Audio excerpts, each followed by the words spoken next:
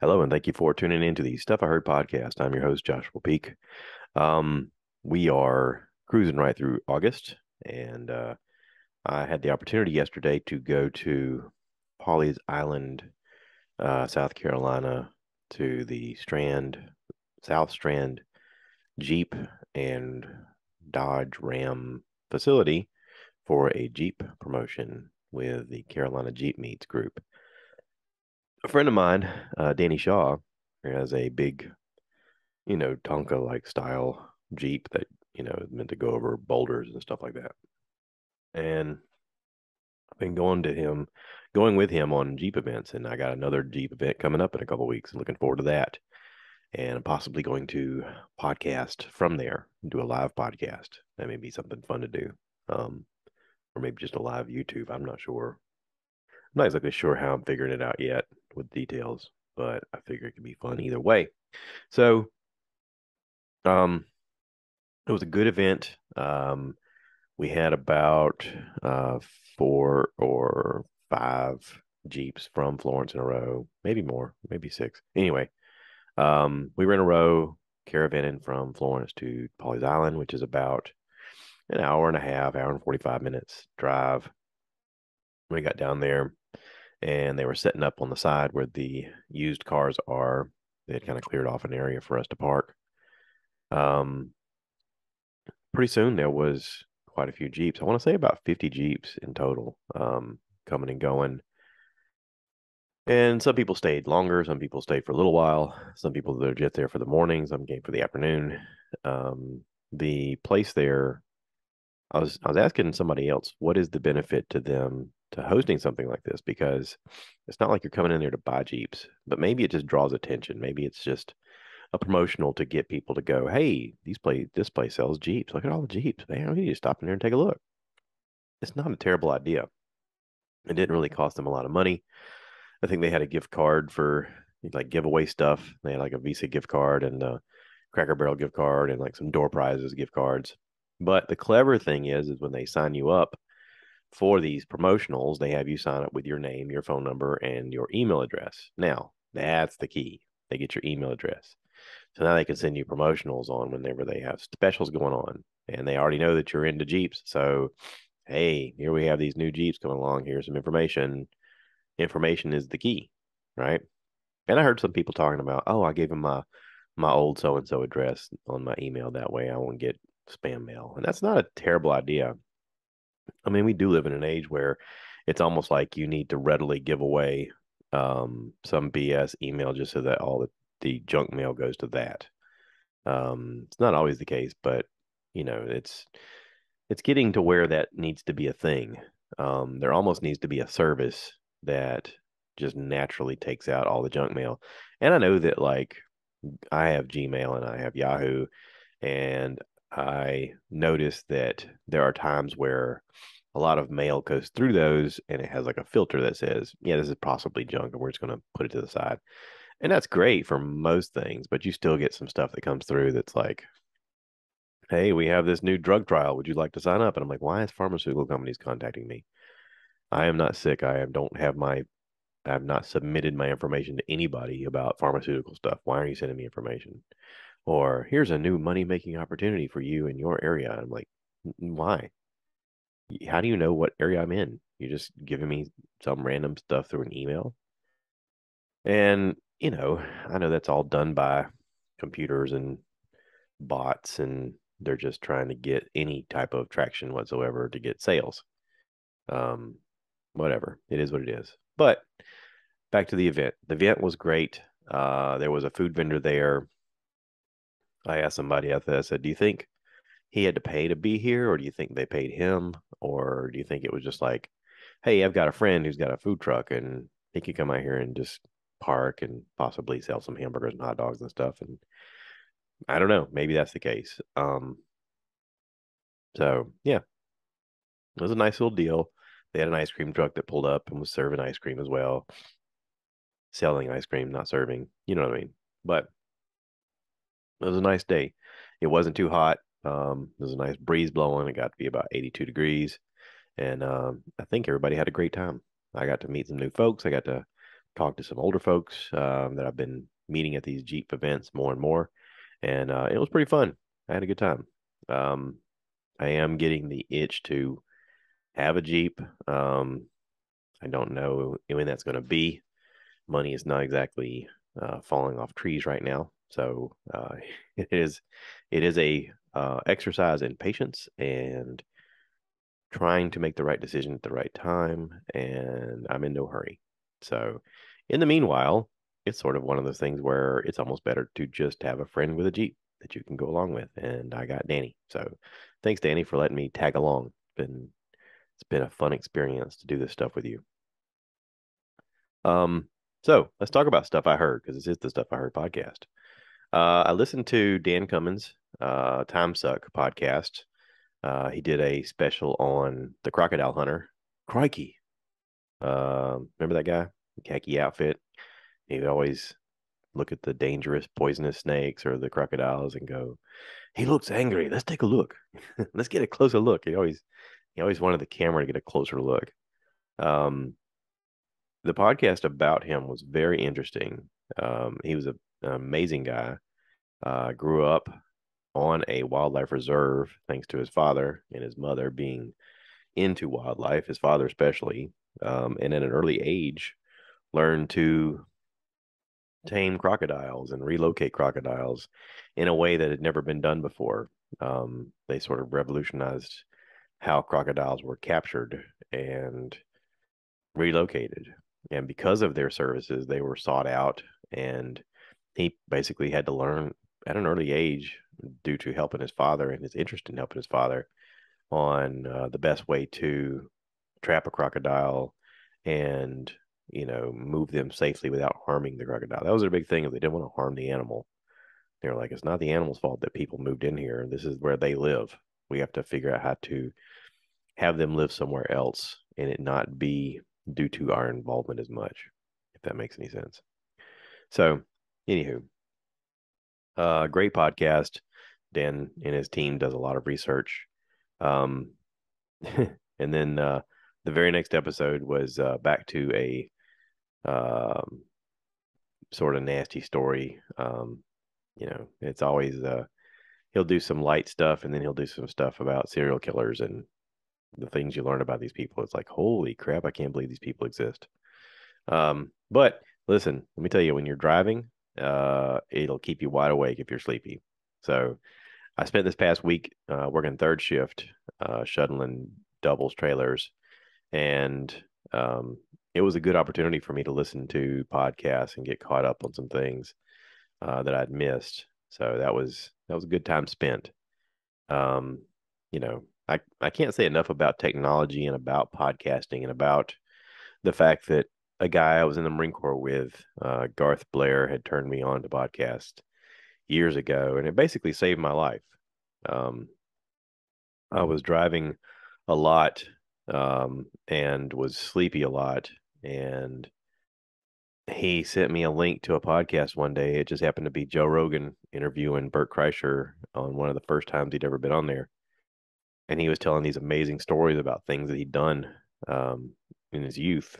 And immediately I was not only awake and alive, with my mind just running and racing along with his story because he's a great storyteller. But I couldn't get over how funny these guys were together. And then when I found out that they had different podcasts, I started listening to more of those, and it just grew from there. Um, but if it wasn't for these podcasts, it, it, you know, I was I was in a bad place. I was um, I was struggling to stay awake. I was struggling to um, differentiate my awake life from my sleep life because I was so sleep deprived. There was a time and place, ladies and gentlemen, where the federal government really didn't care how much you worked uh, or drove. Even though they said they had regulations, no one checked up on it. No one cared.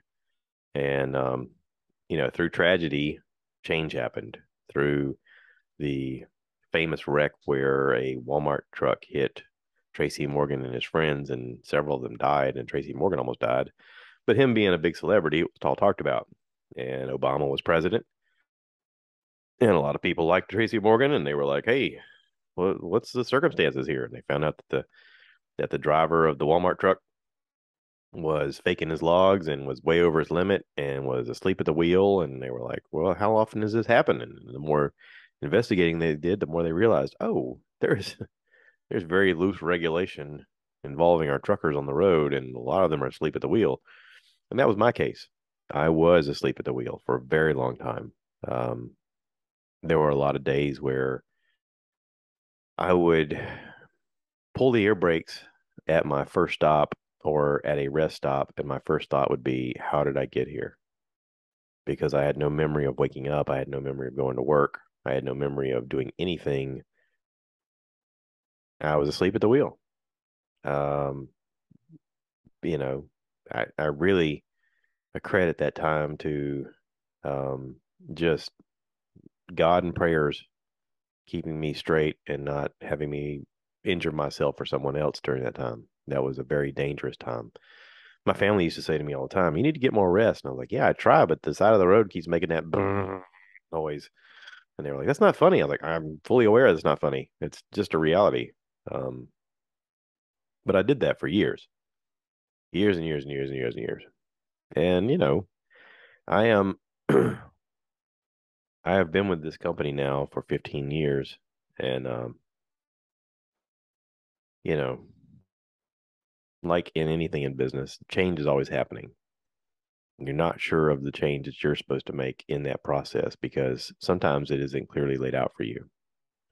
Sometimes the changes that you think you need to make aren't what you need to do. And it's hard to differentiate what it is you're supposed to do. And in a way, you sort of need advice from people that you trust. And those people could be your immediate family, it could be your closest friends, it could be someone that you respect. Um, but you need that information to sort of help you balance out your life, correct? So I'm sort of in that boat right now. I'm I'm in a position where there's a promotion coming up, but it it may end up costing me something that I don't want to give up. So I sort of have to continue to talk to people about it and get their opinions and weigh the options. So there's that. I'm just thankful again that I have the technology and the ability and the uh, resources to access information and podcasts any time that I can because it's super helpful to keep me awake.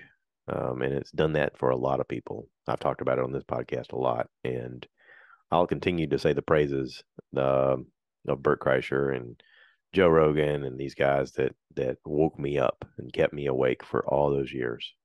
And every time I've met Bert, I've told him, "Thank you. You've you kept me alive." Um, and some people think that's not a big deal, uh, but it is to me. So let's talk about some stuff I've watched because I like sharing with you guys stuff that's good or stuff that's bad or stuff that's weird. And you know, sometimes you find something you're like, "Oh, I never even thought about that. That's not even on my radar." Um so I want to talk about there's a movie that came out a few years ago called Uncharted. It stars uh, Tom Holland, uh, Mark Wahlberg, and Antonio Banderas. Now, there was a time where Antonio Banderas was the A-list draw of the big screen, and now he's just, um, you know, a name that my generation recognizes. Uh, people my age are like, "Oh, look, it's Antonio Banderas." Um, he's not one of the top listed people. He's like fifth or so on the list. Um, I do have some tabs open here. Let's see. No, I'm sorry. He's one, two, three, four, five, six. He's seventh listed in the cast. So, I mean, he's on screen about that much time. Anyway, I saw him and I recognized him, and right away I was like, "Oh my god, it's that guy!" Um, there are several actors that I recognized in this. Uh, there's a lot of people that you go, "Oh, I've seen them in this film, or I've seen them in that thing, or whatever." Um, one of the guys that stood out to me was this Pilou as Asbach played a guy named Gage. Um, it stars Tom Holland. I should just start off there. It stars Tom Holland, Spider Man, the Spider Man. Okay, uh, and Mark Wahlberg everybody knows Mark Wahlberg. They're great together. This is fun. This is like a buddy film um, with adventure and a bit of Indiana Jones mixed in, you know, treasure hunt, um, funny ad libbing and backstabbing along the way. And people are out to get them, including this other lady that's second listed, Sophia Taylor Ali. Um, I don't really know her from anything, but I saw her and I was like, wow, she's attractive. And this is a cool little story between the three of them. And you don't know who's backstabbing who because they're all sort of out for each other, kind of thing. And Antonio Banderas is one of the bad guys, and you're like, ah, this guy is pretty cool. Um, this Pilou as Asbach, I don't even know if I'm pronouncing it correctly. Sorry, dude. Um, I'm terrible with pronunciations. Is a Danish actor. Um, he's best known for he was in um, Game of Thrones. He was the guy with the eye patch that overthrew the the the sea people and yeah. You'll know when you see him you're like oh that guy. Yeah i know that guy. And tom hollander's in it. Um he has a, a part in it. Not a big part but you're like oh it's tom holland. Oh cool. Um a lot of people remember him. Um i would say what do people know him for? Pirates of the caribbean? Yeah he was the the general guy that was after um after Johnny Depp in the movies. Anywho, it's a fun movie. Um the breakdown here of the show. Let's go back. Can I go back? How does this work? I like technology. Come on, guys. Uncharted. Okay. It says treasure hunter Victor Sully Sullivan recruits street smart Nathan Drake to help him recover a 500 year old fortune amassed by explorer Ferdinand Magellan. What starts off as a heist soon becomes a globe trotting white knuckle race to reach the prize before the ruthless Santiago Monca- Moncade, Moncade uh, can get his hands on it.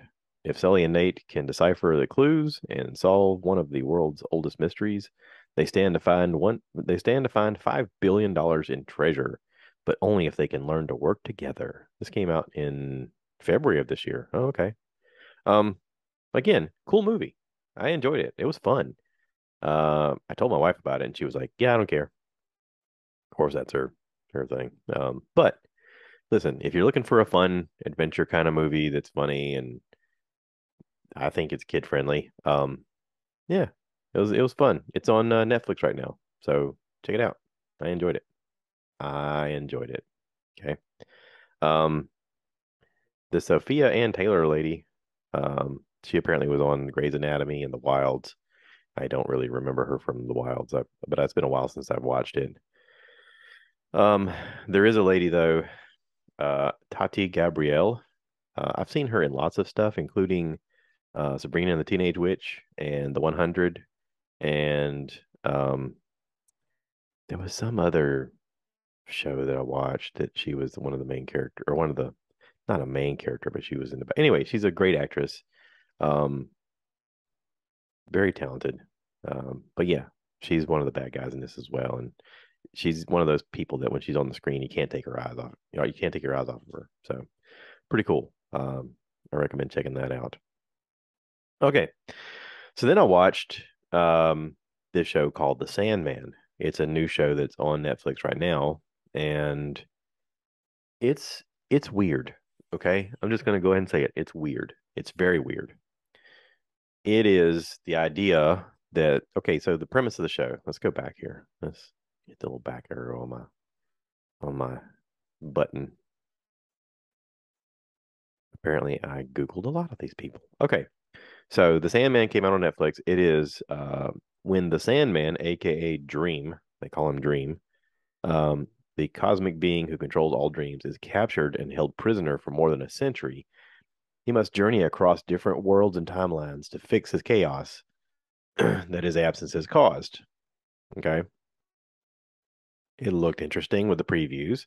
Um, I didn't watch it when it first came out over the weekend, but I did watch it during the week and apparently a lot of people watched it. And uh, I was like, all right, so I'll I'll check this out.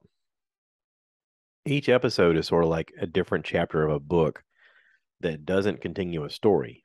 it's it is a continuance of a story, but each one sort of goes deep into um, a journey, if you will.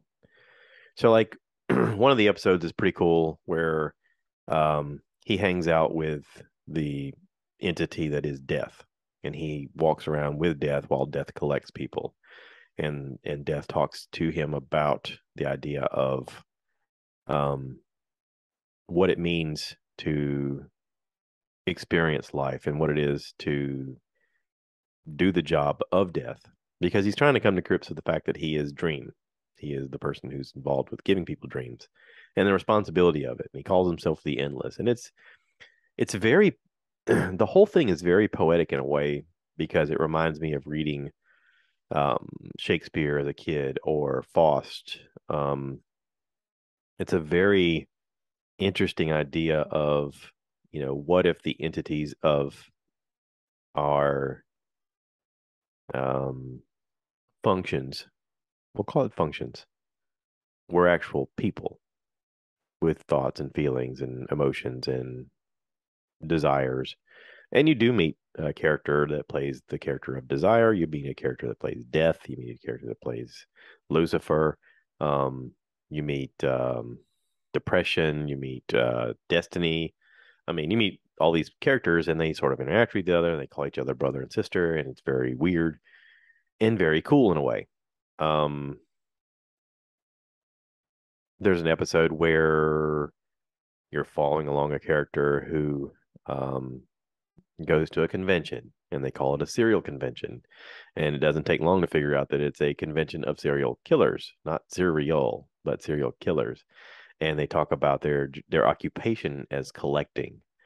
And because Dream has been absent all these years, these other entities that are his siblings supposedly have taken over and they're running amok because they're going unchecked. Dream apparently was the person who kept everything in check and kept everybody in check. And without him there, there's a character there called the Corinth, Corinthian, because of Corinthian. And he's sort of a bad guy. He's he wears these shades, and you find out pretty quickly that he scoops people's eyeballs out and he puts their eyeballs in his head so that he can experience their life as a human in a way, you know, eyes of the window to the soul, blah blah blah. It's pretty that that that part of it's pretty gross. Um, but again, the story, the writing is is is pretty fascinating. Um, I wanted to, as I'm watching it, I wanted to sort of poo poo it. I was like, I don't, I don't like it. And then as I kept watching it, I kept thinking, actually, this is this is pretty smart. This is actually really well done. Um, there's an exceptional episode where um,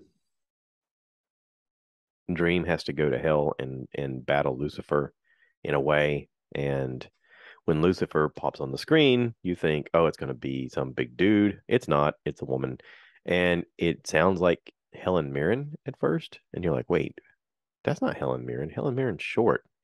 This lady's huge. And I was like, wait, who is this? And I had to Google it. Okay. It's it's Gwendoline Christie. She's the lady who plays uh Brienne of Tarth. Um she's also in the Star Wars First Order as the stormtrooper Captain Phasma. She is six foot three. and she she personifies, you know, verbally and visually what Helen Mirren looked like to me a few years ago. Um, but it's not. It's her, and it's she's. Eh, I don't know. I'm impressed. Um, I'm impressed at the lineup of actors that signed up for this. Patton Oswalt is in it. You know, the guy that did the voice of Ratatouille. Um, he's a comedian, really good comedian. Um, but he's in this, and he's the voice of a crow named Matthew, who just happens to help out Dream. Um, there's a lot of people in this that when you see them on the screen, you're like, wait, I've seen them in all kinds of stuff, and you want to Google them, and you want to be like, oh my god, that's that person like the the lady who's you know supposed to be second cast in this um Jean Gina Coleman She apparently was in Doctor Who. Uh, the main guy, I don't know him from anything. Um, I really don't know him from anything. I had to Google him, and again, he's a British actor. Uh, he was in Being Julia, Like Minds, and The Boat That Rocked. No idea what those are. I think I watched Being Julia, but anyway, um, yeah, I don't know who he is. Pretty good in this, but he just has, sort of has to be creepy and speak slowly, um, and deliver the lines like a like a British actor can. but you're going to see a lot of people in this. You go, oh, I know them. Uh, Charles Dance, Stephen Fry, uh, Mark Hamill is the voice of Pumpkinhead. There's a Pumpkinhead character, an animated sort of character, um, with a giant pumpkin head and an animated mouth, and it's Mark Hamill's voice. He's a great voice actor, man. I really dig it. Um, Cain and Abel are in this. They they they have a thing together. One of the guys right away when you see him, you're going, I've seen him in all kinds of stuff. Um, yeah, on and on and on. I mean, I'm just scrolling through the the faces of these people, and I'm going, I've seen them in all sorts of things. Um, yeah, yeah, amazing, just amazing cast. And it's really interesting because I mean, yes, we are entering into a time where the writing is getting very competitive with all of the streaming services because you have, you know, not only Netflix, but Hulu and Amazon and Apple TV and regular TV and, you know, so on and so forth. And everybody's trying to make their own content and they're trying to be viable on their own. And in there, um, you have actors also trying to get roles just to pay the bills. I mean, and you keep thinking that you're in the Breaking Bad scenario of if this is a hit, this could be my thing that catapults me to be a superstar. I mean, we saw that with Aaron Paul and and um, Bryan Cranston. I mean, it catapulted them to superstardom. Um, but they took on a role that they thought, well, this isn't going to pay much, but I really believe in the writing and I believe in the project. And that's just it. Is you got to have passion for the thing that you're doing in order to succeed, right? So maybe that's the age we live in now. Maybe that's sort of the risk that everyone feels like they're taking all the time of, you know, this could be the thing that that does it for me.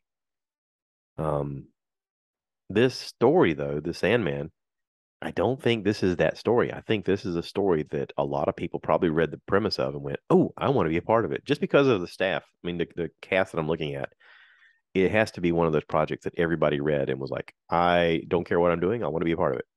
because it it is cool.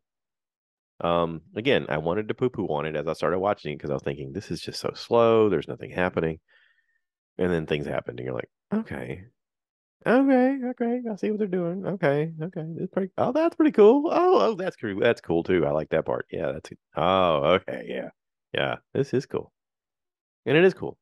So anyway, if you like weird, if you like existential stuff, uh, if you like uh, seeing a cast of killers. Um, this is pretty good.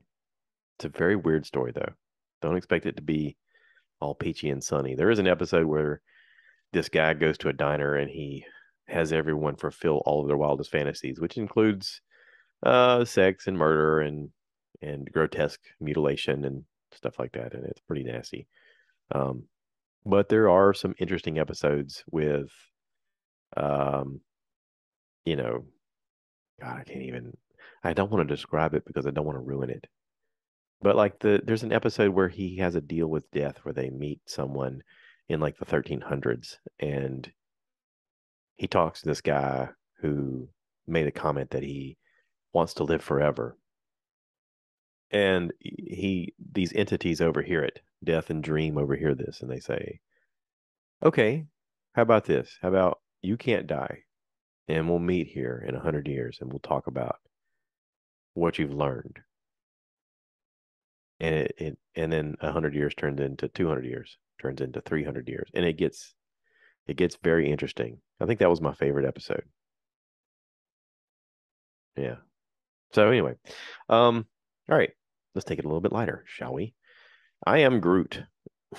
I am Groot is uh, a little mini series that's on Disney Plus. Um, again, voiced by Vin Diesel, which is weird. I don't know how they do that. they have to speed up his voice or something so that it's got him this cute little thing. It's Groot in a pot to start with, and then he gets legs, and then he's he's just little. Okay. So the premise of this, they're only five minute episodes or six minute episodes, and there's only five of them. Uh, the premise says the mischievous toddler baby Groot learns how to grow up amongst trouble in the stars, along with the help of his friends and family in the ragtag superhero team of the Guardians of the Galaxy. It just came out. It's cute. My wife watched them. She's like, "Oh, this is cute. It is cute." So, I am Groot. Cute. Um, now Locke and Key. Locke and Key is on Netflix. Locke and Key has been a very interesting show. Um, I don't know how to describe it if no one's ever seen it. That's the key. Is I don't know how really to describe it. If I read their premise, it just says on the premise here, following their father's murder, three siblings move into a house filled with reality bending keys from the comics by Joe Hill and Gabriel Rodriguez. Now, you're asking, who's Joe Hill? Oh, well, that's Stephen King's son. so there you go, Stephen King's son. Um, great cast, great acting, uh, crazy story. Locke and Keys only out for three seasons. Um, I'm not sure why they just had it to three seasons, but I think it was perfect for three seasons because you got into the story enough for it to be dangerous and crazy and wild and pulled out just in time before you started doing crazy episodes like The Flash is doing, where they go back in time and they change realities and to like stuff like that. So anyway, um, this is the second half of the last season. They did it in a two part series, which is what a lot of people are doing.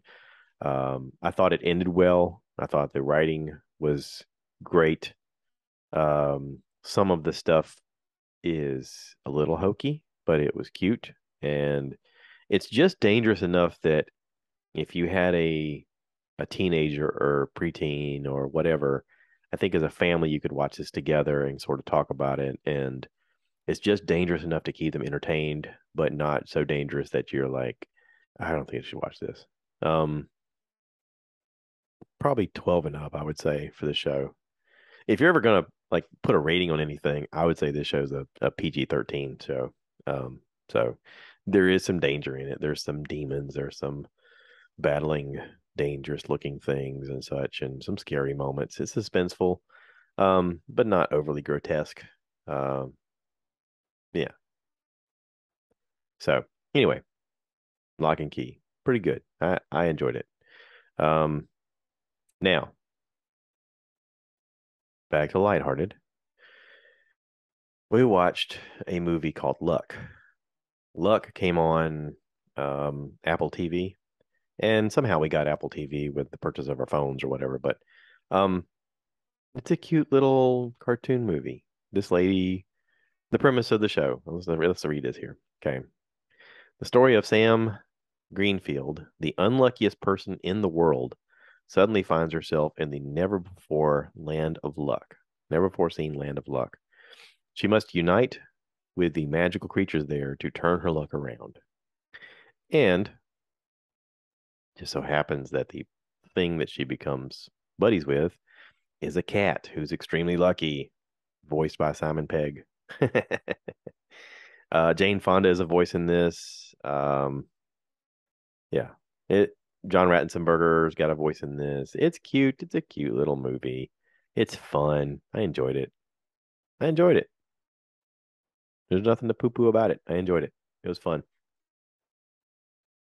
It basically talks about how good luck and bad luck sort of need each other to be in balance. And sometimes if you're if you have bad luck, the biggest thing that you learn from it is to learn to pivot and find a different way for things to happen. It makes you very resilient when things happen that some people call bad luck. So it was fun. Check that out. All right. Let's see. I think that's all my tabs open. Yeah, that's all my tabs. So, anywho, I hope that helps you. I hope you find some stuff that you enjoy watching. I hope it uh, helps pass the time. Uh, much like my friend uh, Garth gave me the podcast information years ago. sort of my effort along the way of this podcast is to give you guys some stuff to help you along the way.